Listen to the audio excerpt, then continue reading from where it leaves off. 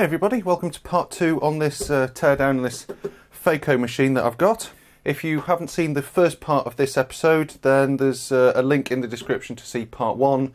Uh, I just simply take off this main control box off the, uh, the wheeled chassis and take out a few items which we're going to look at in this video.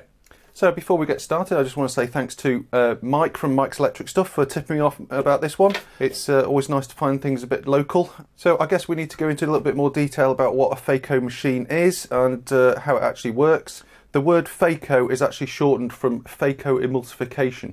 Um, it uses a hollow ultrasonic needle which vibrates and allows you to cut into the eye and cut the damaged lens into small pieces which then sucked up through the needle and then there are other tools involved which allow uh, the surgeon to insert a new lens into the eye uh, so the patient has uh, restored vision. So in reality there is a lot of uh, things that go on to actually provide a, what is actually quite a simple process and that is just simply to uh, remove the old lens from the eye and replace it with uh, an artificial one.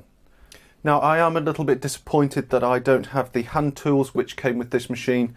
Uh, this is it, literally just the control of the actual hand tools with the ultrasonic um, tools are not with it unfortunately. Uh, it's a shame because I think there would have been uh, some interesting things to see in that because it's not just a simple uh, needle that moves about at ultrasonic, ultrasonic speeds. They actually have shapes and it, it actually moves in a, in a pattern. So they're actually quite sophisticated devices. It's a shame I didn't get one, but at least we've got the main box to take to pieces. Okay, so the box. It looks like there's a main um, chassis in that sort of is in the whole area, and all these bits of plastic are just bolted onto it. Um, there's a big steel plate at the back here, and that looks like it runs through to the front. Um, the monitor is held on with a big bracket here. that is, of course, is broken, and there was a, a, sheet of glass in front here, but that was completely smashed to pieces. So um, I've actually already removed the, the screen. Um, it's just sat on here at the moment. It actually removed quite easily, uh, presumably for when it's moved and um, shipped originally. So I'll just take that off. Uh, we'll start removing some of the plastics from this and actually try and get on the inside. Okay, the screen is actually just held on with this just one securing screw and then it slides off. Like that. Now I have actually already removed the the connector there. Okay, first up we'll have a look at the monitor. Obviously it's just a self-contained unit. Um, the buttons on the side here um, all have rubbery surrounds around them, so there's obviously some IP rating on on that. I'm not sure whether this was touchscreen. I don't think it was. Uh, given the amount of buttons you have around the uh, around the outside, you probably would be able to do away with those if it was actually touchscreen. Um, this here it seems to be some kind of plastic. Looks the sort of plastic that you would write, you'd be able to write on and then wipe it off. Um, unless it's that's actually a touch, a touch sensitive thing uh, because there is actually a couple of arrows on on there as well. So let's see if there's anything interesting under there when we take the lid off. On the back, we've just got um, eight screws to take the cover off.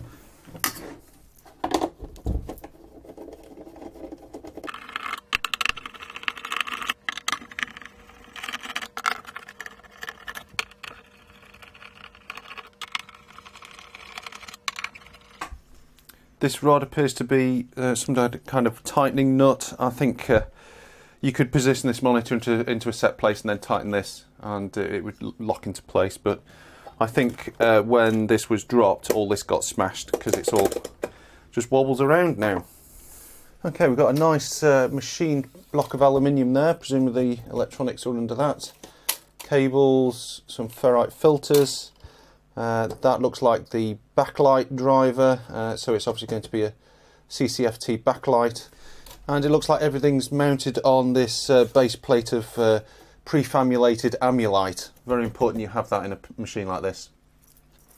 And here you can see uh, where rather a large amount of damage has been done when this machine was uh, disappeared out the back of this uh, this guy's van. Um, so it's obviously hit the screen here, pushed this right into there, and started pulling out the bolts and screws and everything. So.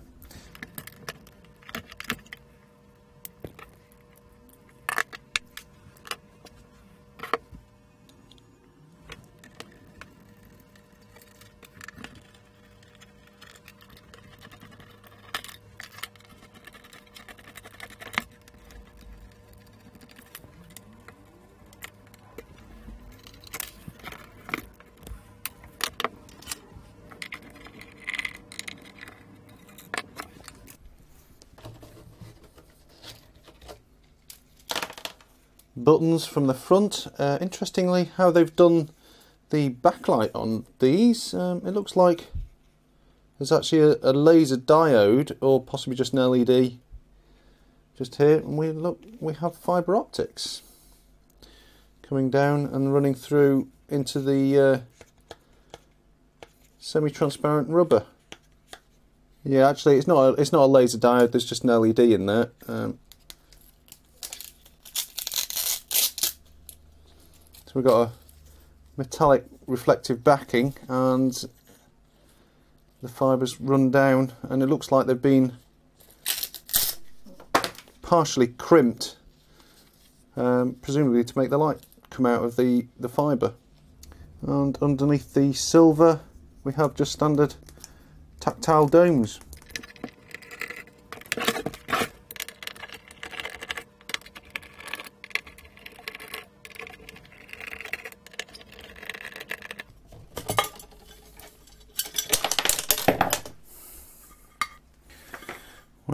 crazy amount of machining gone into that um, just for a shield on the back of the LCD.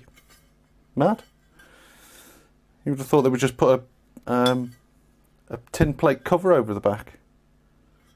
Uh, here we can see the PCB for the uh, LCD controller driver. Um, again, this is branded Allergan. Uh, we've got a programmable device just here which is and that's using their an MC68 HC7111E9 something or other. Presumably uh, some kind of 68,000 base microcontroller. And the screen appears to be a Samsung uh, WiseView LTM150XH okay let's take a look at the main unit the as I said before, I think all these plastics just bolt onto a, a central metal chassis. So I'm going to remove all of the plastics as much as I can, and then we'll see about how to get into uh, into the metal box.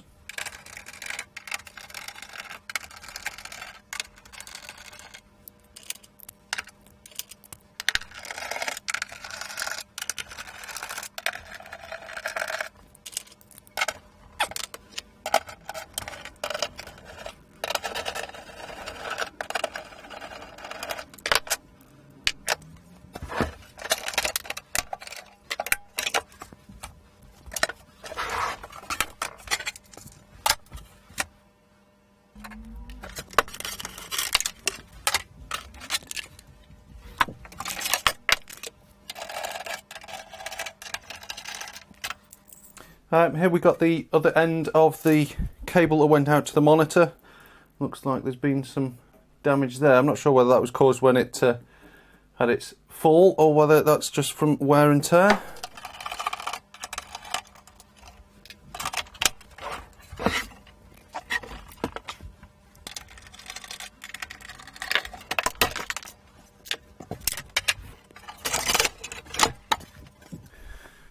See a bit more of the uh, damage there. Get that in the light. It's obviously landed there and broken these plastics. Very, very thick plastic. It looks like it's uh, fiberglass reinforced, it I think. Ah, these are slotted screws and they actually only do a, a quarter turn and release, so possibly there's a, an access panel behind here. We should notice that before I start taking all the plastic off.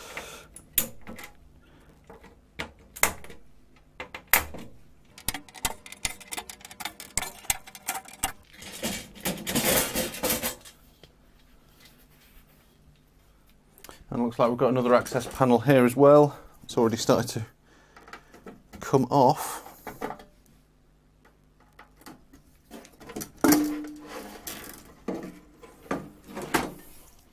I'm just going to remove this uh, pump assembly because it does appear to be one complete unit so it might give me a bit, a bit more access to get in a bit deeper. Oh, again, these are quarter turn screws, obviously to allow you to take it out easily.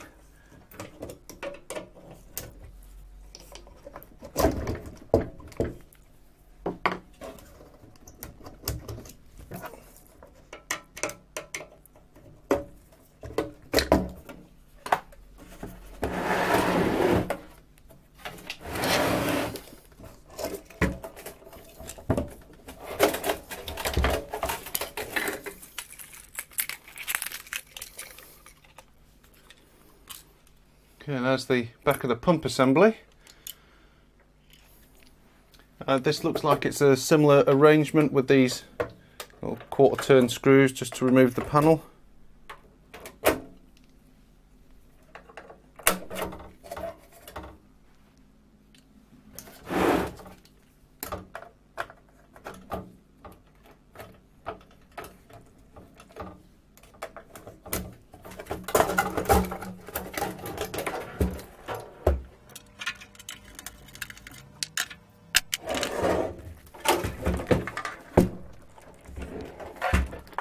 So this is the um, embedded computer. It's made by Ziatech Corporation. It seems to be a model number ZT200-09-S365. Interesting, there is a sticker just there. You probably can't read that, but it says "Special for Allergan." Allergan. Right, there's not much left in here now. There's a speaker up in the corner there. Um, we've got looks what what is like a um, a hard disk or solid state drive or something just in down in here. I can't quite see. Um, then there's the power supply, and that is about it. There's cables and bits and bobs. So that was the rear panel. Uh, these are the connectors that went out to the foot switch and the um, the other parts, the uh, air pump and things like that.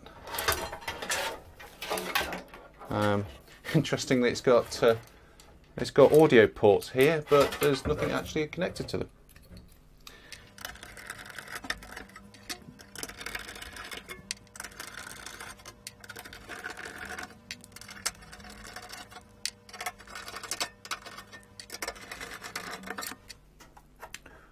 Yep, looks like we've got a PC card, uh, 32 megabytes. Um, That is labelled WhiteStar Ice System. Ice technology designed for increased control and efficiency. Blah blah blah. Manufactured for AMO Inc. Obviously contains all of the um, operating system for the computer.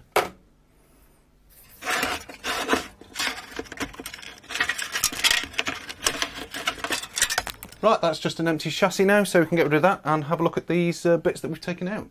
Let's have a look at these bits in turn. Um, this is just one of the, the back plane, the back connector panel. So not really much on there. It's literally just connectors on a uh, on a PCB. So nothing much to see there. Okay, let's have a quick look at this uh, peristaltic pump assembly. Uh, so this came out as a single unit. Um, it looks like there's two sections to this.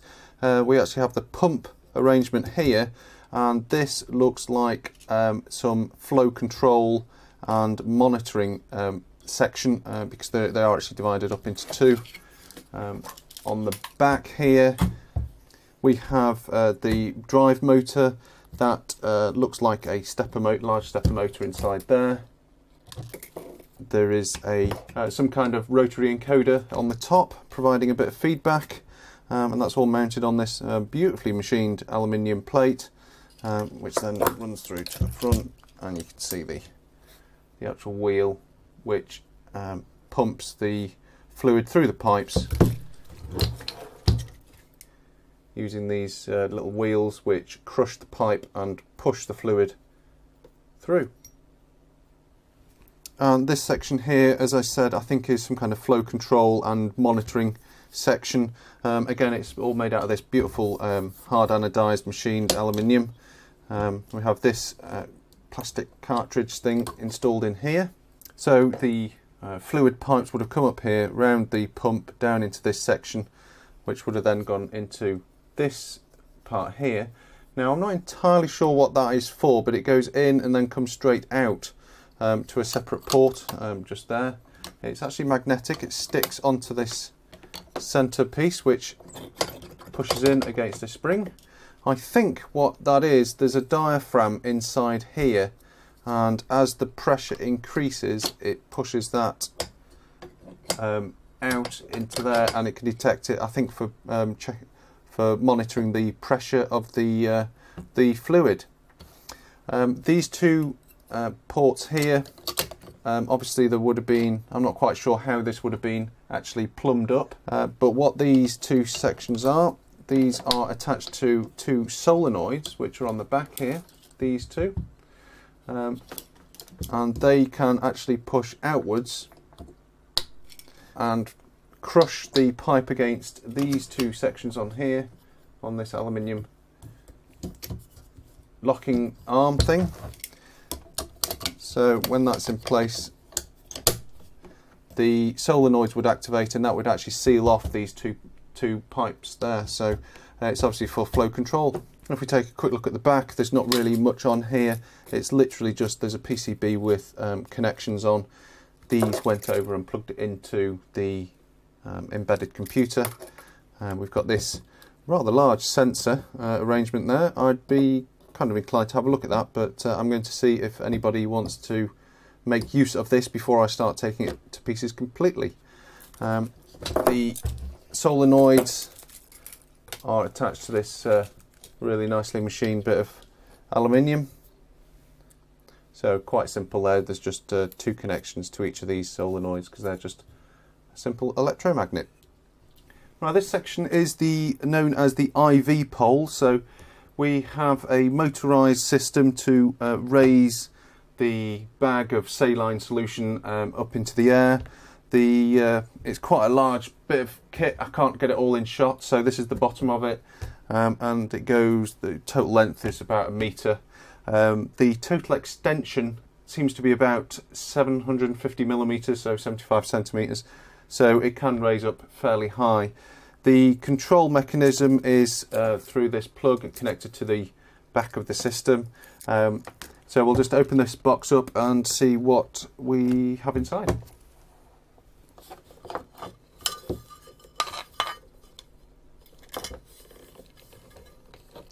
Right, so we've just got a, a fuse in there. Right, this looks like it's uh, got some kind of microcontroller on it, so like the air pump, there's probably a serial interface over the uh, over the connections there. Um, this would actually supply the power as well. Um, so there's a, probably a little serial protocol just to uh, tell this thing to go up and go down. It might even be able to specify go up 10 centimeters or something. Uh, but because I wasn't able to turn it on, I don't know, do not know, unfortunately. So there's a number of wires that come out of this control board, um, which run through to the motor at the base here. Um, that is a that has an Allergan part number. The motor is um, Dunker motor, type G30. So what I think we've got here is the um, motor, probably a reduction gearbox. This uh, might be a clutch um, to actually lock. So when the, the the motor is not running, then this is all locked up to stop it moving. This is probably a limit sensor because there is another one of those about 75 centimeters up on the the other part of the pole. So that is probably a limit switch. Right, this is the assembly that was mounted at, on the front of the machine. This seems to have the outputs that went to the tools. Uh, so I believe that is the the main handpiece. Um, there was one that was labelled Let's just have a look at the plastic, uh, just so we can get this get this right. So the top connector was for the, the main Phaco tools. The second one is labelled as a bipolar diathermy output, 10 watts into 500 ohm load, 1 megahertz.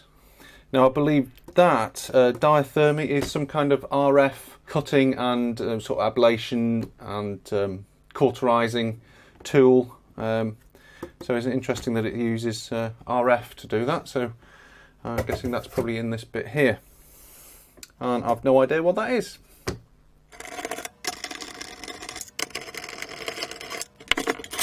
Right, this is the back of that board. I don't really understand anything that's going on here. We've got a couple of large, uh, couple of transformers there, um, and here as well. So presumably there's obviously, obviously some RF stuff going on, and uh, this also supplied power to the the main Phaco hand tool, so there's probably going to be some kind of power supply for that as well. There's three large power devices down there which are attached to um, uh, that heatsink and then that to that one and then to this main main heatsink here. Caps then Nichicon 105 degree rated. Well, let's have a look now at this uh, embedded computer uh, made by Ziatech Corp. So we've got a number of cards plugged in here.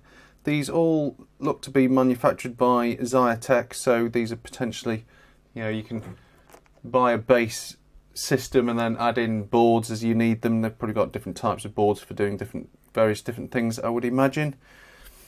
But it looks like there is a complete computer in here. Um, let's take each one of these cards out and uh, we'll have a look at them individually. Now I can't actually get these out because there's a retention bracket in here which just has to be released. Presumably, yeah, that just slides up.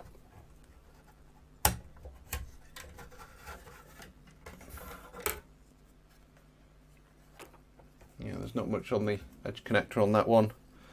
Um, not a lot there. It says uh, PCB assembly CPU video interface. Um, this port went up to the LCD panel.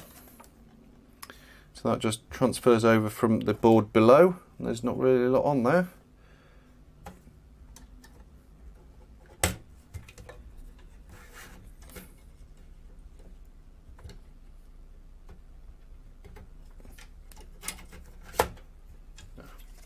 Yeah, it looks like this is the CPU board. We've got a, I'm going to guess that's a memory module.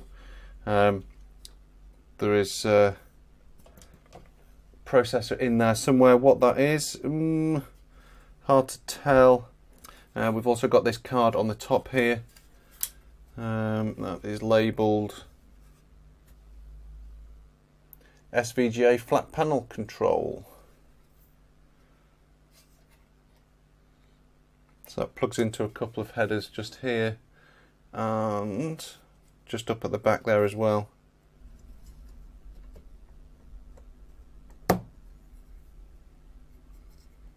Yeah. 486 single board computer. Uh, there's also a Microsoft sticker on there as well, so maybe running an, an embedded um, Windows. Um, that looks like an Intel IC there. We've got uh, the battery for the clock and a few other bits and bobs. So let's uh, see if we can get this clip off here and we'll see what 486 it actually is. Ah, I can't see. Oh, sod it, I can always put some thermal paste on it. Right, there we go. We have uh, an Intel 486 DX4100, pretty much one of the last 486s. And it looks like that's the video board. So we've got a chips device there, presumably VGA uh, video controller, and uh, we've got a VGA BIOS there, and uh, some RAM. Oops, sorry to interrupt. While I was actually editing this, I have been reading the datasheet for this uh, system. There's a few little details that I just want to go into because they're kind of interesting, so I thought I'd be a bit more complete and add them to the story. So this uh, system is actually uh, known as an STD32 backplane, if you like. Um, it's basically a bus system uh, which allows you to have a uh, multiple master cards um, on the bus. Um, so you can have a, a, CPU card in there and that can plug in and communicate with all the other cards through um, the STD32 bus at the back. Uh, actual CPU card, as you've just seen, is a pretty much self-contained 486 computer. Um, there's everything on there that you could possibly need. You've got the processor, the video card. So first off, uh, we have a memory module here. Um, I believe that is 8 megabytes. Um, so given it's only running DOS, then that's absolutely fine for that. Um, underneath here you have uh, two flash chips as well uh, for storage. I'm not quite sure how they um, look to the system if you're running MS-DOS, what these actually appear as, I don't know. The data sheet says these are um, two or four megabytes of flash. Uh, given that there's two there, it's possible that uh, these are two meg each. Um, and on the 2 meg model, there's only one of those fitted. In addition to um, sort of normal PC stuff, you do get two serial ports. You get a Watchdog timer, um, speaker interface. The LED on here is software programmable. There is a power monitor. Uh, you can have an optional IDE and floppy interfaces. Now, I believe that those actually uh, mount on the back. Um, possibly on just there. There's a footprint for something there, um, which doesn't actually appear to be fitted on here, which is uh, why it looks like the drives are SCSI. Um, the system only runs on 5 volts, so it doesn't need 12 volts or anything like that. It's literally just 5 volts. Um, this interface down the back here is PCI, uh, so that connects directly through to the CPU. Uh, I don't believe it's connected through to the um, STD32 bus, so this video card is local um, to the processor. Uh, allows the video to be much faster because it's it's far low, far more local and it's a faster interface. Um, I believe you can get video cards for this system which work over the STD32, but they are obviously a lot slower. Um, it also has DMA support um, between the local memory on this board and the other peripheral devices through the STD32 bus, um, so that allows you to offload some of the data transfer operations to uh, DMA controllers. Uh, I believe there are four of them. There are four channels in total. And in, in addition to that, there is also a Centronics compatible printer interface uh, on here. I think it's one of these uh, these ports here. The uh, unused port that you can just see down in there. You can see a, um, there's a, a, slot for something to plug in just in there. Um, that is for some SRAM to be installed. Uh, so you have some non-volatile RAM uh, available to the system. Uh, obviously it's not being used in this case. Let's look through the rest of these. Special for Allergan uh, SCSI 2 controller. So we've got an Adaptec SCSI controller, BIOS there as well. Next one is um, sound card. Uh, so we've got ZT8944 sound card for Allergan. So we've got on there analog devices sound port and we also have a Yamaha General MIDI sound chip. And presumably speaker output and microphone input.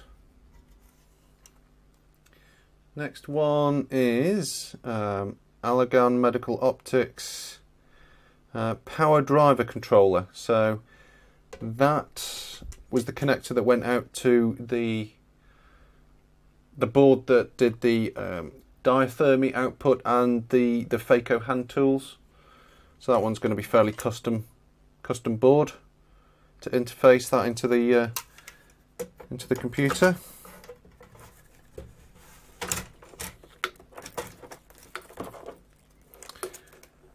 This one is labelled Allergan Quad Serial Interface. So we've obviously got uh, four RS232 serial ports. Yep, COM A, B, C, D, RS232. Yeah, it looks like this could actually be. Oh no, those are RS485. So presumably this board can be modified to uh, turn the RS232 into 485 as well.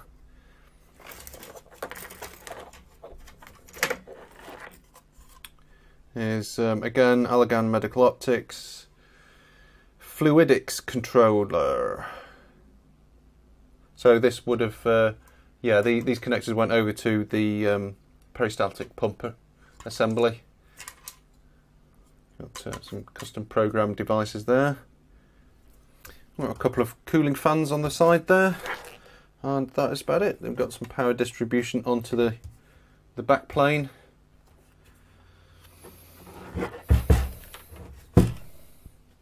Now this assembly is the power supply and it looks like we've got uh, the PC card drive for the uh, memory card that came out of it.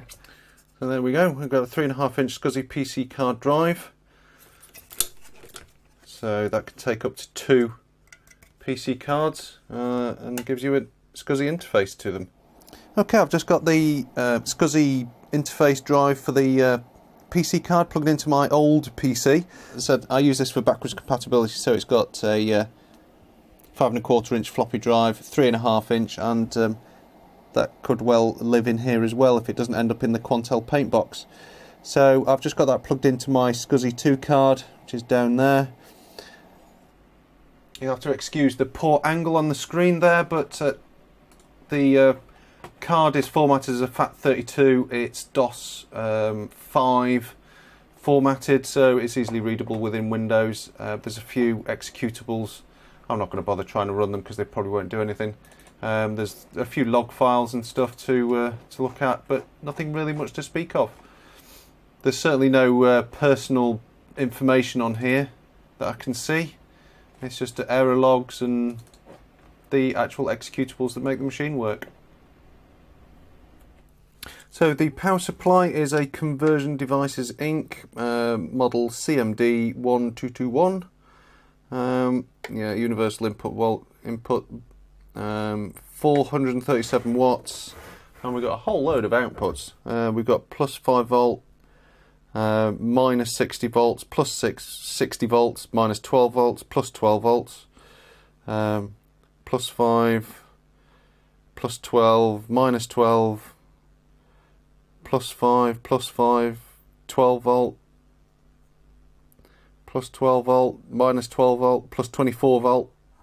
I'm not going to take a look in there. It's uh, it's probably a, a, a very good uh, power supply, I would imagine. Probably built um, very well, so I'm not going to bother looking inside that. Uh, next up, we have the hand control. and went out to um, a Lemo style connector. Um, so let's just have a quick look in here. I'm not expecting too much in here, but it might be a, uh, a serial interface.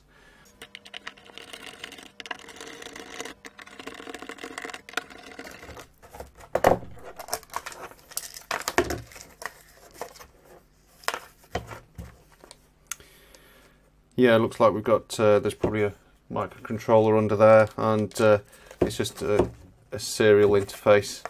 Uh, it looks like we've got the same arrangement we had on the front panel where they've used uh, fibre optics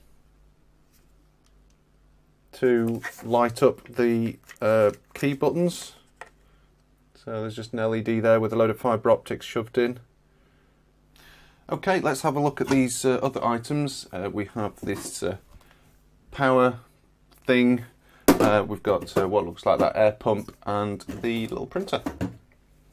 Uh, right, this unit uh, took the mains input, uh, which was into here, and then there's just two outputs, um, one of which went to the pump and one went to the main unit up at the top. So I suspect this is probably just some power distribution box thing.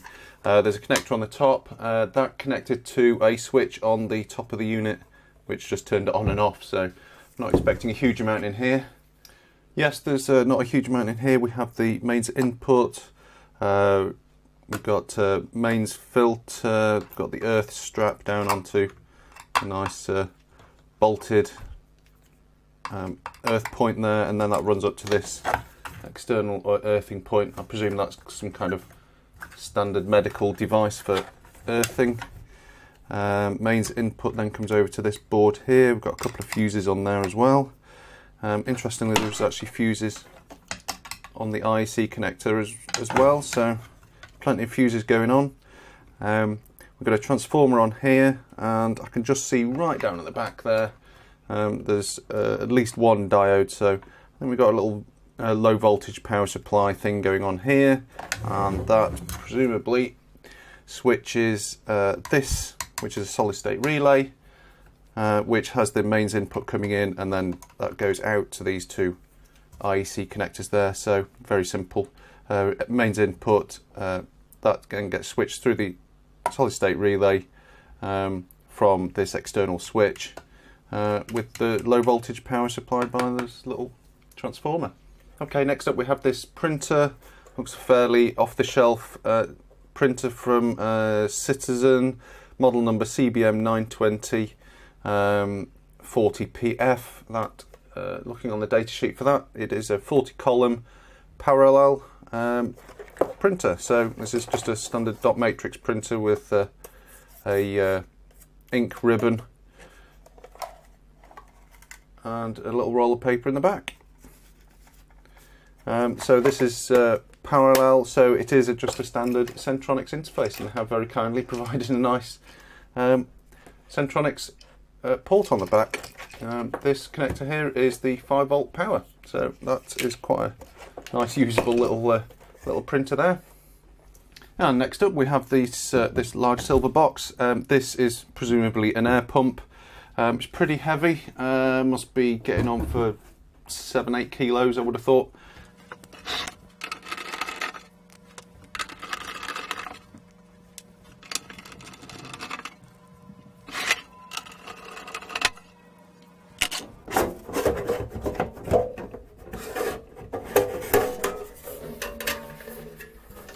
So just a steel external box. We've got an external fan that is um, looking on the back of that. That is 24 volt. All right, let's just have a quick look around this. Uh, so we have a large toroidal transformer in the bottom there. Uh, it's one of the reasons why this is so heavy. Uh, we've got a motor and pump arrangement and a couple of control boards. Okay, the control boards, they are branded Allergan. Um, both that one and the one underneath. Um, we've got looks like a programmable device just on there.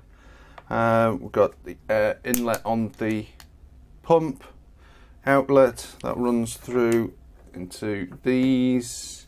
We've got a T-piece, one runs through to this um, air valve just there and what looks like a pressure sensor just there. And then that runs out to the main output.